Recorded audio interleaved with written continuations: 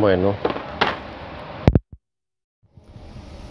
bueno, la primera forma de, ayudar a alguien como, como nuestro Ají, lógicamente es la Torah, es enseñarle Torah, llevarlo a la Torah, llevarlo a las palabras de Yeshua, pero también es eh, llevándolo a, a el orden.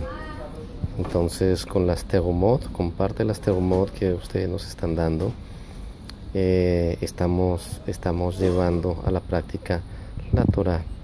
Estamos comprándole todas estas cosas y vamos a sacar un tiempo para, para estar, estar aplicando las palabras de Yeshua y poder ayudar a nuestro a nuestro aje.